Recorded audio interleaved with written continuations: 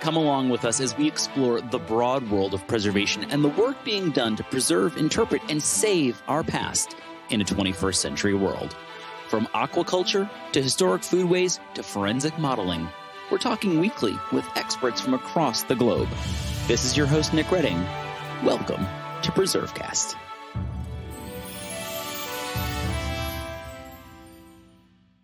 On this week's PreserveCast, join us as we talk with Dr. Roeland Paardekooper about EXARC, a global network of professionals active in archaeological open air museums and experimental archaeology, ancient technology, and interpretation.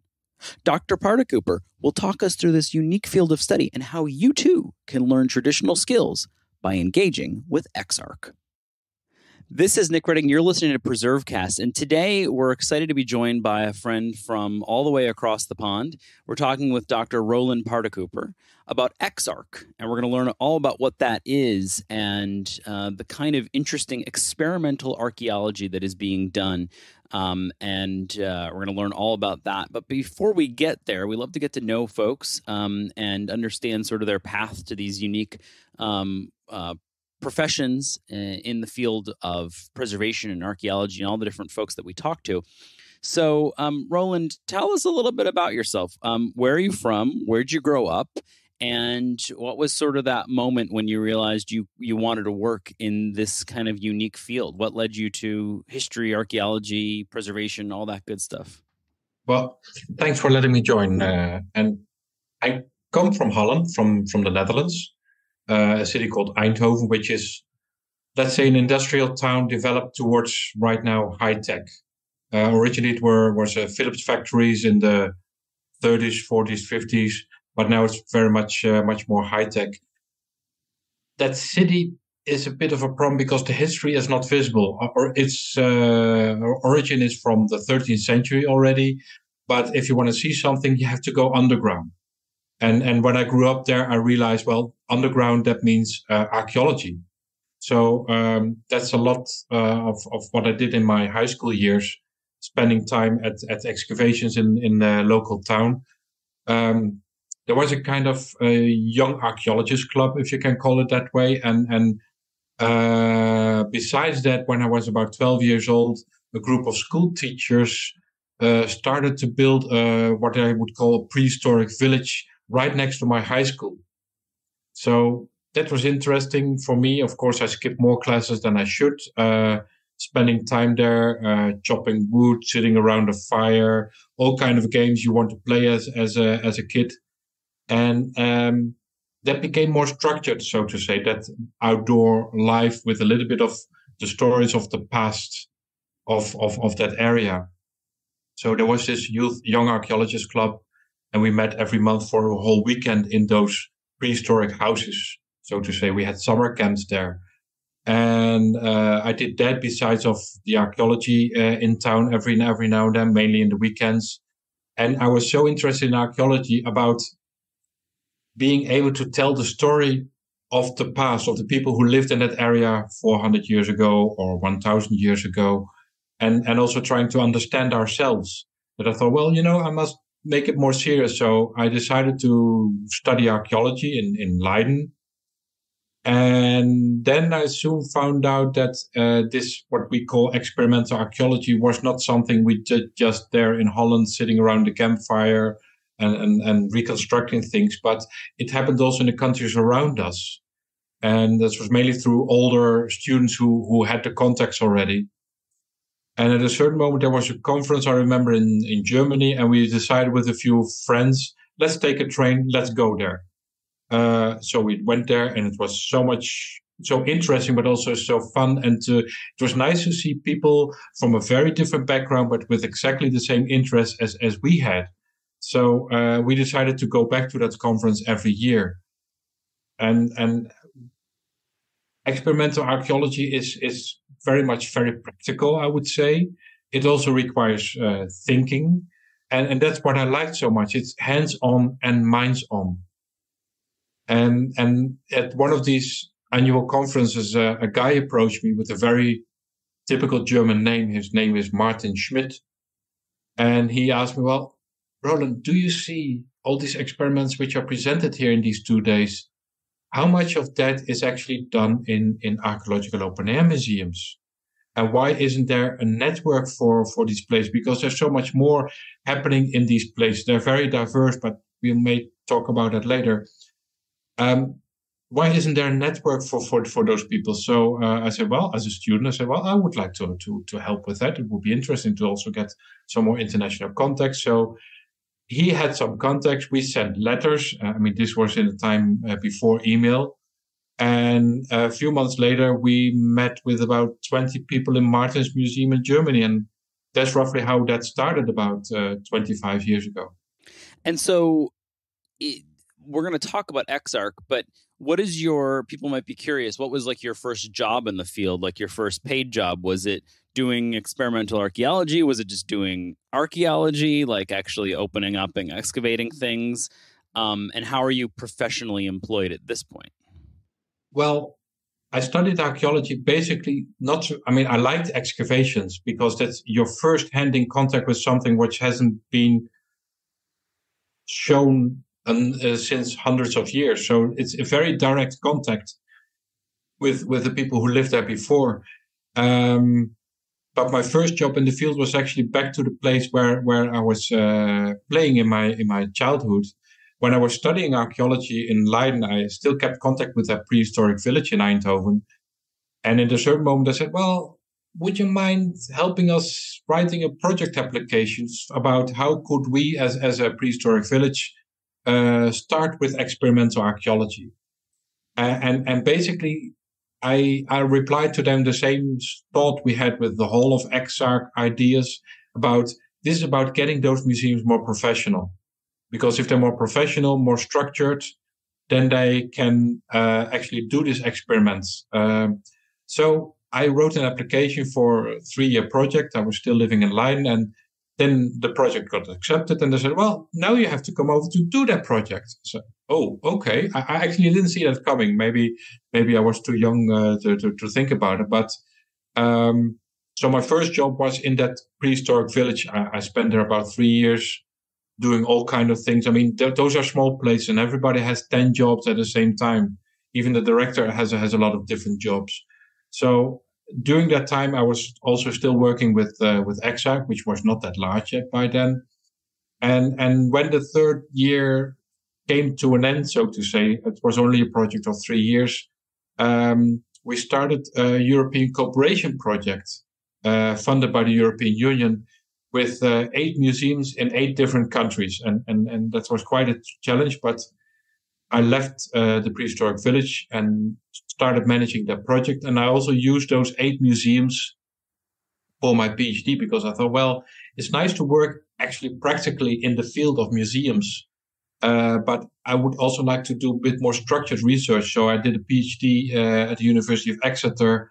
And that's indeed not so much archaeology like digging archaeology. I think I haven't been digging uh, since I since I finished my my MA studies in in Leiden, I have not been uh, responsible at an excavation whatsoever since uh, since a long long time because I find it much more interesting to help telling the stories about the past. I mean, let let the, the, the professionals excavate and and get the stuff out of the ground, but I would so much more like to be on the on the on the let's say the edge between the, the science on the one hand and the public on the other hand.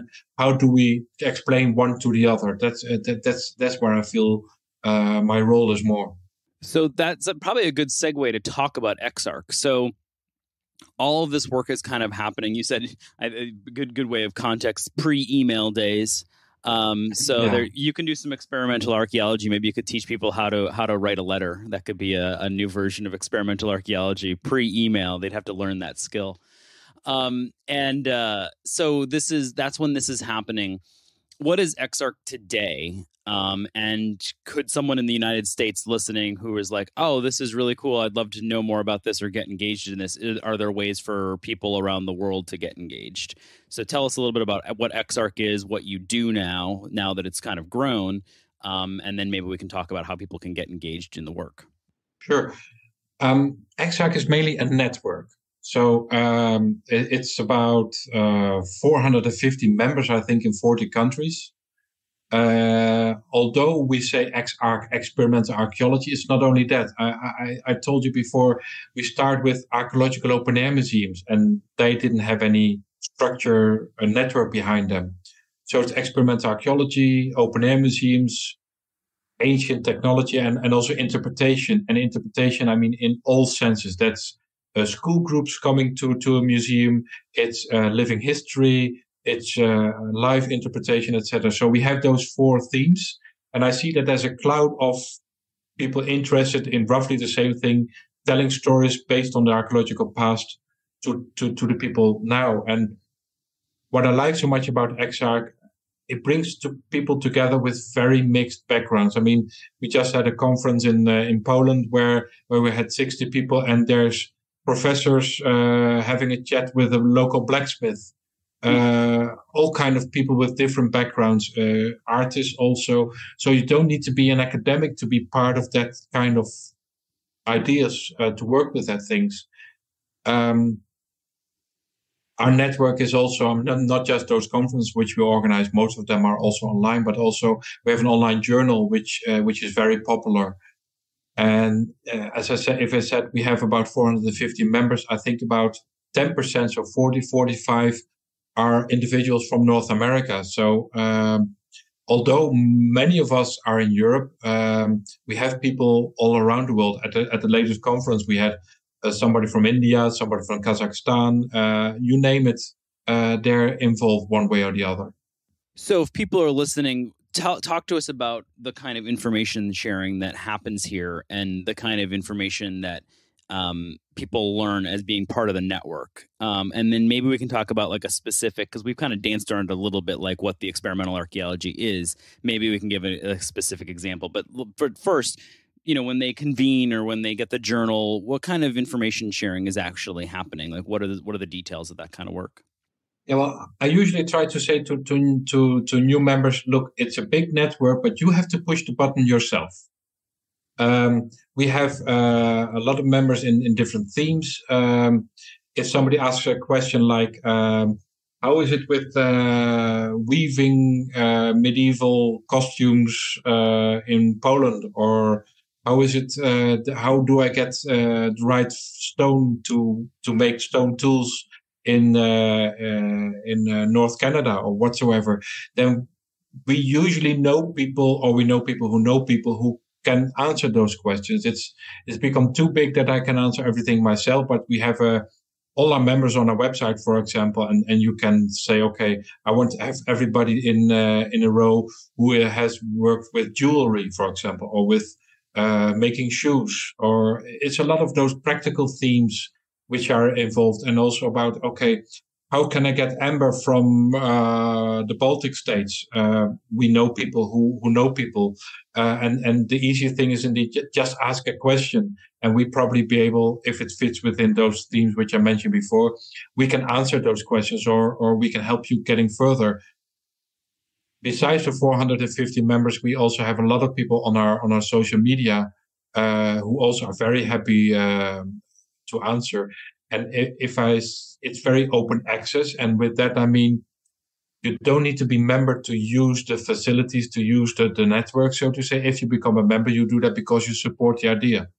So maybe this is a good place to take a quick break come back and let's talk about a couple specific projects and like you know we kind of touched on you know weaving or stone tools or things like that but maybe we can touch on not only how some of this uh, experimental archaeology has worked but perhaps a situation where we learned something that we couldn't have learned otherwise from excavation.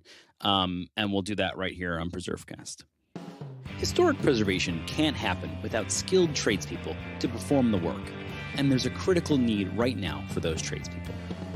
The Campaign for Historic Trades, powered by Preservation Maryland, is working to meet that need by strengthening apprenticeship opportunities within historic trades. In partnership with the National Park Service's Historic Preservation Training Center, and Conservation Legacy, the campaign is currently recruiting for NPS Traditional Trades Apprenticeship Program, or TTAP. TTAP is an intensive 20 week apprenticeship that provides young adults the chance to learn historic trade skills while working on America's most iconic historic sites. multiple positions are open for the 2022 season at national parks across the country. Visit historictrades.org for more information on TTAP and how to apply today.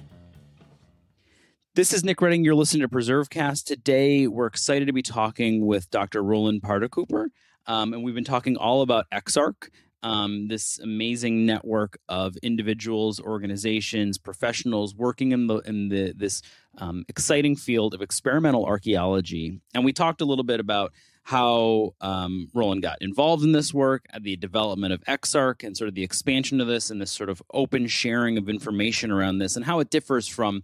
Um, traditional archaeology, where you're excavating, this is where you're trying to actually figure out how people did the the the the things that they did back in, in historic and prehistoric times. So maybe for people listening who like aren't super familiar with this, we've kind of talked about it sort of in broader terms. Give us an example, if you could, or like a fun example of a situation where experimental archaeology not only kind of physically played out like something that you did, but perhaps a situation where, and I'm sure this happens all the time, where you learned something or gleaned something from a situation that couldn't otherwise have been done just through the excavation process. Because I imagine that that happens quite a bit, where it's like, oh, this is how they did it. We just never figured this out. We never would have been able to do this unless we did it ourselves. Yeah, well, let me start by saying that I didn't do many experiments by myself. I know how it works, and I, am more right. a facilitator. Uh, oh, sure. Uh, I'm curious about something that just even happened in the network that that you guys, you know, kind of um, facilitated, though. Yeah, well, uh, there are examples like I mean, experimental archaeology is actually um, very the- very theoretically. It's you create a process which is similar to a process from the past. You try to come as close as possible to something what happened in archaeological past. Uh, you can call it an analogy, and and and then you want to compare data. So the reconstruction, if you make something like a shoe, for example, the, the shoe itself is not the experiment, but the activity of making it. Or, for example, uh, also interesting, the, the activity of using it, because you can see an experiment is, can be about producing something, using it or discarding it or even excavating it. So the whole process, the whole life of, of, of an, of an artifact. And, and I would also like to mention we, we are concentrating on artifacts with archaeology, but in the end, we are looking at the people behind those artifacts. Right. But there are, for example, uh, experiments where people made shoes, like, for example, how the Romans did it, and used these shoes to walk uh, for days or for weeks or sometimes for, for, for longer than that. And then you can see how these shoes are, are, are, worn down. And those, those signs of wear can then be compared to archaeological wear. And that's, uh, that's very interesting. And then you can, you can recognize things in the archaeological artifact, in the archaeological shoe, which you wouldn't otherwise have recognized because you did you don't know how these traces were made, how how that rope was was used or or, or what or, or whatsoever. For people listening who are saying, and and this this question comes up with sort of traditional archaeology, and I'm sure it comes up sometimes with experimental. I'm curious what your thoughts are on this. Is people say, perhaps someone who's not just enamored with it in general say, okay, so what? So we know how a Roman shoe was worn down what does that mean to, and what is the sort of the relevance of this work to the world that we live in today? Is there uh, a thread of sustainability here? Is there sort of relearning traditional skills that could um, be brought back? Is there what? How does this impact our modern world? And I'm sure that that's a conversation that's had, particularly as you know museums make the case for their relevance. How do you sort of see that play out? What are people kind of, how does this tie back into the world that we live in today? Well, I, I think it's making archaeology more relevant indeed to to to, to the present day. Uh, you have to compare things from now to, to, to the past. The good thing about archaeology is that it looks further beyond the one, two, three years we are we are experiencing now. It's looking beyond generations. So you, you can make a much longer story, so to say. You can see how people used things in the past and how we can get ideas from that uh, for for the present. So um, it's it, simple things like uh, construction methods. Uh, using uh, daub, for example, is is a traditional technique uh, in many places in the world. Also, mud brick is a traditional technique, and uh, we know they used that for thousands of years uh, all across. But it's now kind of rediscovered. Like, hey, this is maybe a um, a method of construction which doesn't have such a big impact on on on the environment. It's uh, very solid, solid enough uh, for, for for for our purposes. And this is something what where we can learn from from archaeology and also from experimental archaeology. Uh, that actually there are techniques which which uh, which we may have forgotten a bit, uh, which have and you I mean with mud brick and so you use often local materials. Uh, something else also wooden construction uh, in in many countries say ah wooden construction you cannot calculate that so well like steel or concrete or so but actually wooden construction have a lot of advantages uh, uh, also in areas where where there are much more hurricanes uh, for example than, than where I am here in Europe when uh, when we realize okay it's not so old fashioned to to use uh, to use wooden constructions because actually it it can save you. It's better that a piece of wood falls than than a concrete building falls on top of you. So uh, uh, and it's more flexible as well. So our ancestors have not been that stupid. Uh, I would say they're just as stupid and just as smart as we are, uh, but they were fit for their circumstances, and we are fit for our circumstances. Um, I'm curious: Are there any experimental archaeology situations that um, the field has just not been able to figure out yet.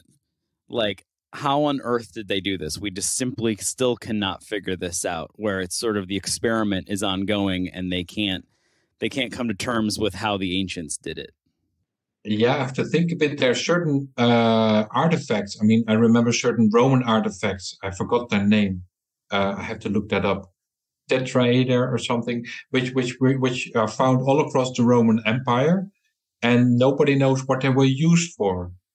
Um, and and that's that's that's one of these mysteries hmm. where where people in different parts of the world are not just in Europe are thinking, okay, how did I make them? Well, we, we that's that's the easy part, but why on earth did they use them? And and and uh, I think quite recently um, Roman concrete was, for example, discussed in, in much more detail and say now we know why Roman concrete was was working so well, much better than the concrete after that period. But those that uh, with those Roman objects, um, those metal objects, that's indeed uh, so, something um, which is still a mystery. Fascinating. Um, so before we kind of draw to a conclusion here, what are you working on at EXARC now? Like, if people are interested in getting engaged, um, what's kind of coming up? Convenings, conferences, things like that. Well, we, are currently working on on a, a, cooperation project with with several open air museums on. Um, it's called Retold, and it's about documenting, digitizing, and sharing of the stories of archaeological open air museums, uh, because we believe those stories are very important, and a lot of these those museums are now towards the second generation of people working there. I mean, the first generation is like the founding fathers or founding mothers and uh, I often use a phrase called Sinatra syndrome or the founder syndrome, that uh, you need a specific kind of people to to start initiative, to start uh, an event or, or a museum like that. But it takes another kind of people to keep it running. And um, that means also a bit more structured work in that documentation and digitization. It sounds boring, but actually when we are able to to to digitize, for example, these reconstructed houses all, all across the world uh, and, and put them online, then suddenly we can share a lot more um, stories and, and things uh, for, for, for everybody. So it will be also a tool which every museum uh, in the world could use.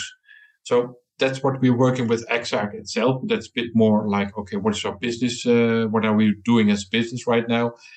Um, we just had a conference on experimental archaeology uh, in Poland and online uh, with uh, with about 9,000 views in, in, in, the first two days.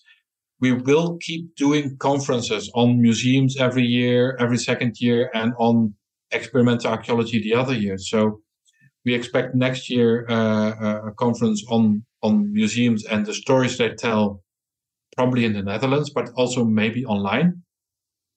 We have a journal which is published all the time, uh, every, uh, every three months, uh, which is also online, which everybody can read. Um, and the next experimental archaeology conference will be in 2025. We don't know yet where, but because it's hybrid conference, hybrid conference, it can be anywhere. Mm-hmm. And have uh, just out of curiosity for the American listeners, have you ever done a conference in the U.S.? Not yet, but I have to say that our the EXARC chair is uh, from Colonial Williamsburg in Virginia, and we are discussing if it would be possible to to uh, to have a joint conference there. Joint a uh, conference, I mean, there's an American organization called ALHFAM, Mm-hmm. Association of Living History, Farming and Agricultural Museums. Yep. And and they're sort of our sister organization, I would say. Um, so we're looking into maybe coming to Virginia and having a conference in uh, in Colonial Williamsburg together with ALHFAM at some time. Fantastic. Well, we've done a bunch of ALHFAM interviews. In fact, we just recently interviewed um, uh, some folks from Colonial Williamsburg about uh, their interaction with ALHFAM, so people can go back and listen to those episodes. Um, so before we go, we ask everyone we make them squirm a little bit. Your favorite historic place or site? Is there a place that speaks to you, something that you love? That's that's difficult to say because uh, if I look at, for example, these open air museums, it's so hard to compare them with each other. Um, and, and what I always say, I mean, I've been a museum director several times, and the task of a museum or historic site towards their visitor is to create an illusion of a perfect past and and that should last as long as the visitor is still there. But if you stay a little longer, you see the cracks in the wall, a bit of waste on the floor, all these imperfections. And so I would say there is no perfect place. Uh, some places come pretty close. There's a spectacular place in France called Guédelon, where they're building a 13th century castle. That's a really nice one. And we did have we had the folks from Guédelon on Preserve Cast, so people can go back and listen to that episode as well. Perfect. And as you said, Colonial Williamsburg in, in the USA is, is also one of my favorite places because because the way they do things there is different from other from other places. Somebody asked, "So is this an open air museum? Is it an historic site? Is it? Uh, it's it's everything together." I would say, and and um, but people can can can look look that up as well because it's it's a brilliant site. And the last site I would like to mention is a place here in Denmark. It's called Lejre, Lejre Land of Legends. It's one of the oldest of this kind.